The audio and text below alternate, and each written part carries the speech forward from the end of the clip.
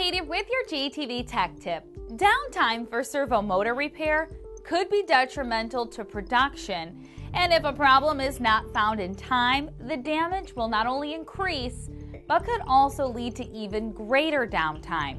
The first indication could be a loud noise that is louder than usual. This can be the first indication that something is not working correctly. A regular scheduled check can see if the unit has been damaged in any way.